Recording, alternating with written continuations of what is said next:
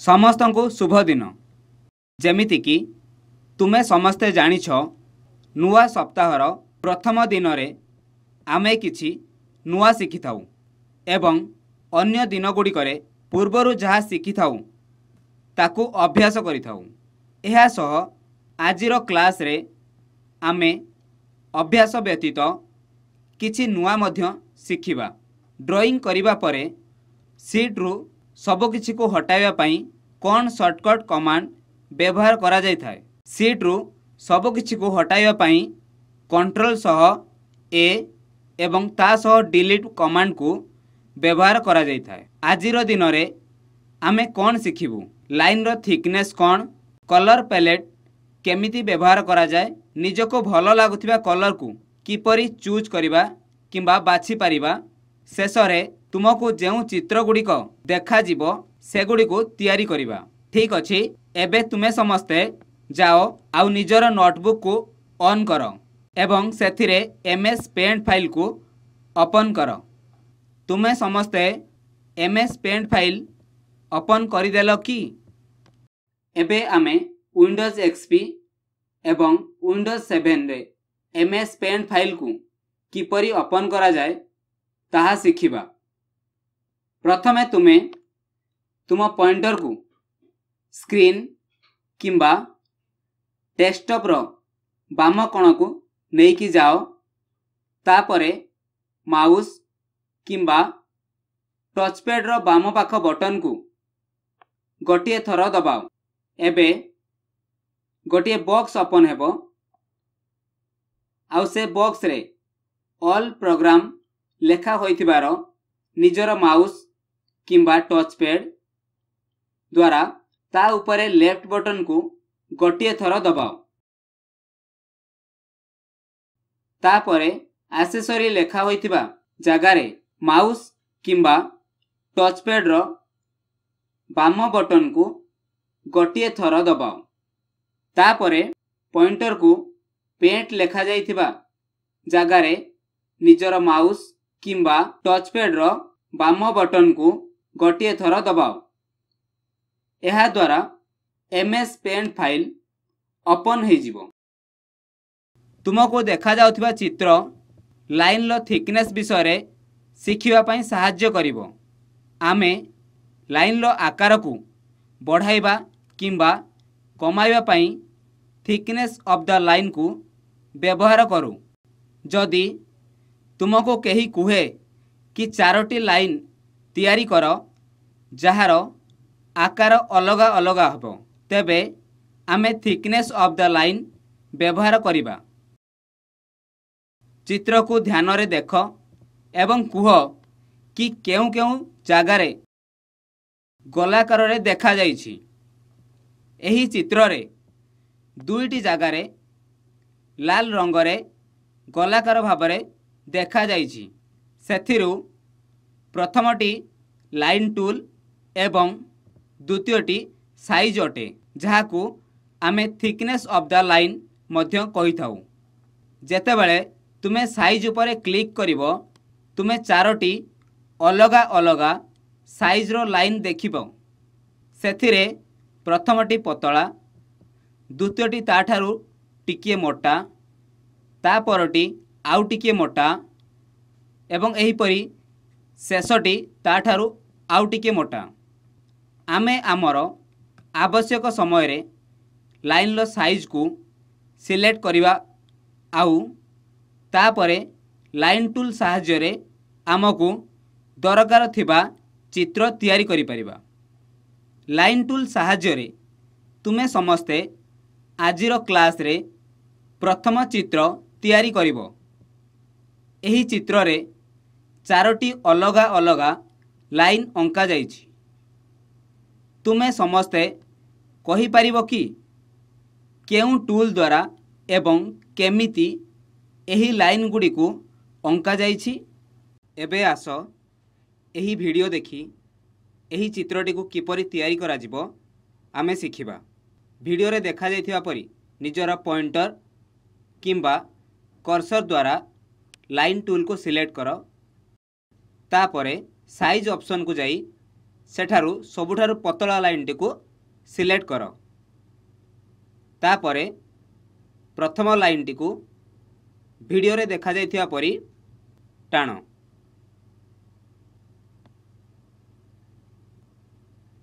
ମନେ ରଖିବ ଲାଇନ୍ର ଦୁଇଟି ପାର୍ଶ୍ୱରେ ଥିବା ଧଳା ବିନ୍ଦୁକୁ ହଟାଇବା ପାଇଁ ଲାଇନ୍ର ବାହାରେ ଗୋଟିଏ ଥର କ୍ଲିକ୍ କରିବ।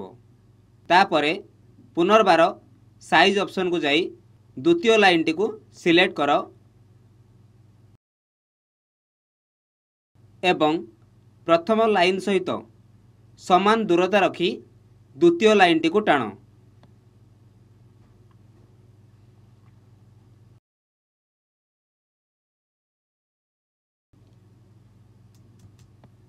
ଏବେ ପୁନର୍ବାର ସାଇଜ୍ ଅପସନ୍କୁ ସିଲେକ୍ଟ କର।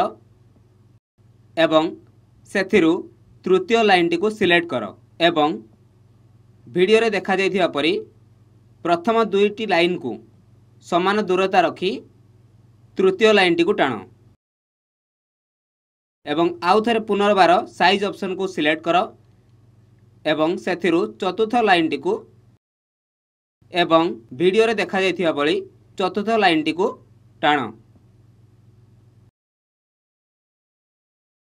ଏହିପରି ଭାବରେ ତୁମର ଚିତ୍ରଟି ତିଆରି ହୋଇଯିବ ଚିତ୍ରଟିକୁ ଲିଭାଇବା ପାଇଁ ତୁମେ ସମସ୍ତେ ଇରେଜର୍ ଟୁଲ୍ର ବ୍ୟବହାର କରିପାରିବ ଏବେ ଆମେ ପର ସ୍ଲାଇଡ଼୍ରେ କଲର୍ ପ୍ୟାଲେଟ୍ ବିଷୟରେ ଶିଖିବା କି କଲର୍ ପ୍ୟାଲେଟ୍ କ'ଣ ଏବଂ କେମିତି ଆଉ କାହିଁକି ଏହାକୁ ବ୍ୟବହାର କରାଯାଏ କଲର୍ ପ୍ୟାଲେଟ୍ରେ ଅଲଗା ଅଲଗା ପ୍ରକାରର କଲର୍ ଥାଏ ଯାହାକୁ ଆମେ ଆମର ଆବଶ୍ୟକ ଅନୁସାରେ ଡ୍ରଇଂ କରିବା ସମୟରେ ବ୍ୟବହାର କରିଥାଉ।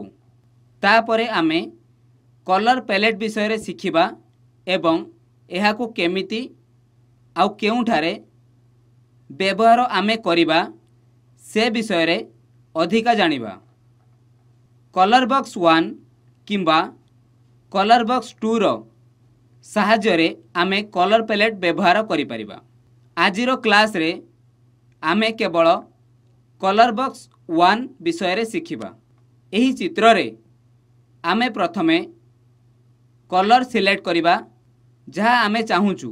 କଲର୍ ପ୍ୟାଲେଟ୍ରୁ ଆମେ ଯେଉଁ କଲର୍ ସିଲେକ୍ଟ କରିବୁ ତାହା କଲର୍ ବକ୍ସ ୱାନ୍ରେ ଆସିଯିବ। ତାପରେ ଆମେ ଗୋଟିଏ ଲାଇନ୍ ଆଙ୍କିବା ଯାହାକି ଠିକ୍ ସେହି କଲର୍ରେ ହେବ ଯାହା ଆମେ ସିଲେକ୍ଟ କରିଥିଲୁ। କଲର୍ ବକ୍ସ ୱାନ୍ ଦ୍ୱାରା ଆମେ ଆଉଟଲାଇନ୍ର କଲର୍କୁ ପରିବର୍ତ୍ତନ କରିଥାଉ। ଆଉଟଲାଇନ୍ର ଅର୍ଥ ହେଉଛି କୌଣସି ଚିତ୍ରର ବାହାର ପାଖରେ ଥିବା ବର୍ଡ଼ର ଲାଇନ୍କୁ କୁହାଯାଇଥାଏ।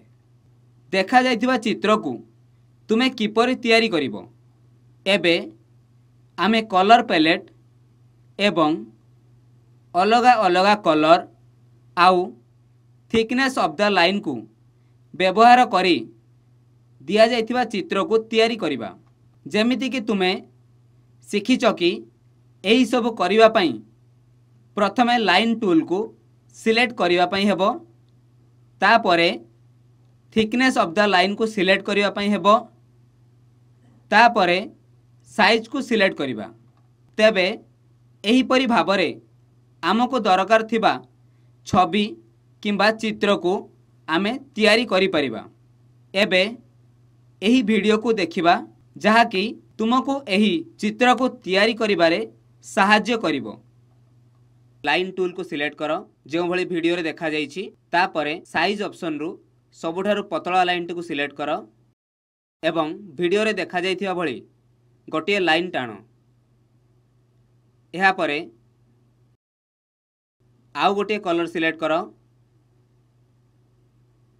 ତାପରେ ସାଇଜ୍ ଅପସନ୍କୁ ଯାଇ ଦ୍ୱିତୀୟ ଲାଇନ୍ଟିକୁ ସିଲେକ୍ଟ କର। ଏହାଦ୍ୱାରା ତୁମର ଅଲଗା ଅଲଗା ସାଇଜ୍ର ଲାଇନ୍ ତୁମେ ଟାଣିପାରିବ ଏବଂ ଭିଡ଼ିଓରେ ଦେଖାଯାଇଥିବା ଭଳି ଲାଇନ୍ଟିକୁ ଏହିଭଳି ଟାଣ।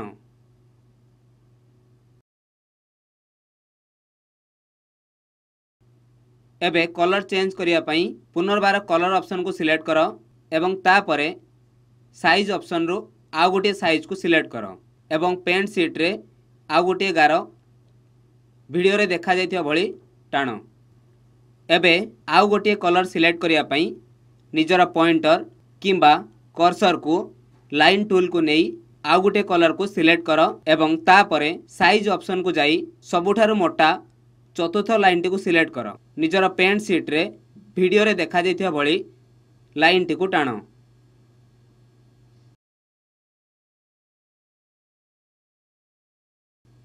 ଏହିପରି ଭାବରେ ତୁମର ଚିତ୍ରଟି ସମ୍ପୂର୍ଣ୍ଣ ହୋଇଯିବ। ଚିତ୍ରଟିକୁ ଲିଭାଇବା ପାଇଁ ତୁମେ ଇରେଜର ଟୁଲ୍ର ବ୍ୟବହାର କରିପାରିବ। ପୂର୍ବ କ୍ଲାସ୍ରେ ଆମେ ଗୋଟିଏ ଘର ତିଆରି କରିଥିଲୁ କିନ୍ତୁ ସେଥିରେ କୌଣସି କଲର୍ ଦିଆଯାଇନଥିଲା ତୁମେ କହିପାରିବ ଏହି ଚିତ୍ରକୁ ତିଆରି କରିବା ପାଇଁ କ'ଣ କ'ଣ ଆବଶ୍ୟକ ଅଟେ? ଏହି ଚିତ୍ରକୁ ତିଆରି କରିବା ପାଇଁ ଲାଇନ୍ ଟୁଲ୍ ଥିକନେସ୍ ଏବଂ କଲର୍ ବକ୍ସ ବ୍ୟବହାର କରାଯିବ ଯଦି ତୁମେ ଚାହିଁବ ଏହି ରଙ୍ଗୀନ ଘରକୁ ତିଆରି କରିବା ପାଇଁ ତୁମେ ଚାହୁଁଥିବା କଲର୍ ବାଛିପାରିବ ଯଦି ତୁମେ ଏହାକୁ ତିଆରି କରିପାରିବ ତେବେ ତିଆରି କର ଅନ୍ୟଥା ଏହି ଭିଡ଼ିଓକୁ ଧ୍ୟାନ ଦେଇ ଦେଖ ଯାହା ତୁମକୁ ଏହି ଚିତ୍ରକୁ ତିଆରି କରିବାରେ ସାହାଯ୍ୟ କରିବ କଲର୍ ବକ୍ସକୁ ସିଲେକ୍ଟ କର ତାପରେ ଲାଇନ୍ ଟୁଲ୍କୁ ସିଲେକ୍ଟ କର ଏବଂ ତାପରେ ସାଇଜ୍ ଅପସନ୍କୁ ଯାଇ ତୃତୀୟ ଲାଇନ୍ଟିକୁ ସିଲେକ୍ଟ କର ଏବେ ଘର ତିଆରି କରିବା ପାଇଁ ପେଣ୍ଟ ସିଟ୍ରେ ପ୍ରଥମେ ଏହିପରି ଲାଇନ୍ଟିକୁ ଟାଣ ଯେଉଁପରି ଭିଡ଼ିଓରେ ଦେଖାଯାଇଛି ଏବଂ ଆଉ ଗୋଟିଏ ଲାଇନ୍ ଏଇଭଳି ଟାଣ। ମନେ ରଖିବ ଲାଇନ୍ ଦୁଇଟି ଶେଷରେ ଥିବା ଧଳା ବିନ୍ଦୁକୁ ହଟାଇବା ପାଇଁ ଲାଇନ୍ ବାହାରେ ଗୋଟିଏ ଥର କ୍ଲିକ୍ କରିବା ପାଇଁ ହେବ। ଏବେ କଲର୍ ବକ୍ସକୁ ଯାଇ ଆଉ ଗୋଟିଏ କଲର୍ ସିଲେକ୍ଟ କର ଏବଂ ଏହି ଦୁଇଟି ଲାଇନ୍କୁ ଯୋଡ଼ି ଦିଅ। ଏହା ଠିକ୍ ଗୋଟିଏ ତ୍ରିଭୁଜ ଭଳି ଦେଖାଯିବ। ଏବେ କଲର୍ ବକ୍ସକୁ ଯାଇ ଆଉ ଗୋଟିଏ କଲର୍କୁ ସିଲେକ୍ଟ କର ଏବଂ ଭିଡ଼ିଓରେ ଦେଖାଯାଇଥିବା ଭଳି ଗୋଟିଏ ଲାଇନ୍ ସିଧା କରି ତଳକୁ ଟାଣ।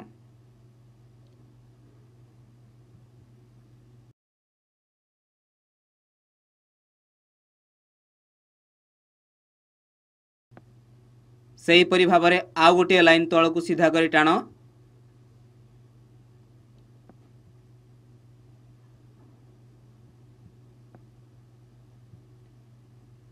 ଏବେ कलर बॉक्स को जाई आ गोटे कलर को सिलेक्ट करने भिडियो देखा जा गोटे कलर को सिलेक्ट कर एवं यही दुईटी लाइन को जोड़ी दियो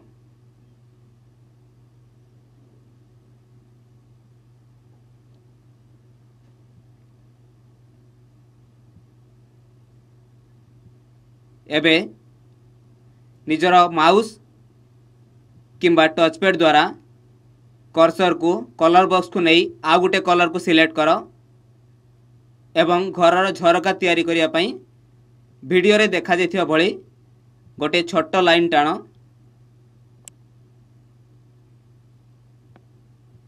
এবে আউ গোটিয়ে লাইন ছোট লাইন এইভাবে টাণ যেভাবে ভিডিওরে দেখা যাইছি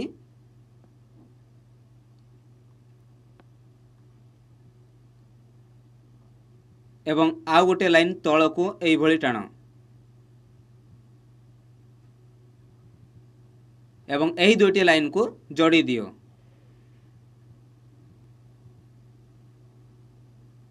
ଏହା ଠିକ୍ ଗୋଟିଏ ଛୋଟ ବକ୍ସ ଭଳି ଦେଖାଯିବ ଏବଂ ସେହିଭଳି ଡାହାଣ ପାଖରେ ଆଉ ଗୋଟିଏ ତିଆରି କର।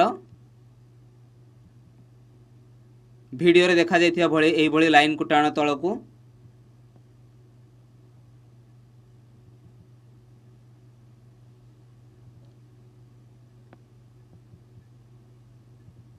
এবং এইভাবে ভাবে দুইটি বক্স দুই সাইডে তৈরি হয়েযিব ঘরর ঝরকা পাই।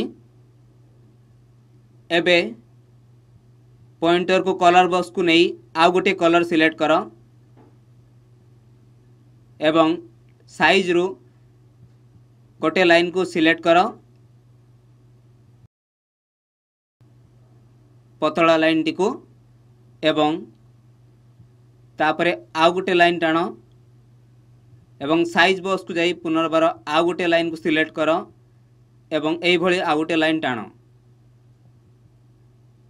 एवं पुनर्बार साइज़ ऑप्शन को जाई आउ थे पतला लाइन टी सिलेक्ट कर एवं द्वितीय झरकार गोटे लाइन टाण एवं पुनर्बार सिलेक्ट कर साइज़ ऑप्शन को एवं भिडियो देखा भली आउ गोटे लाइन टाण।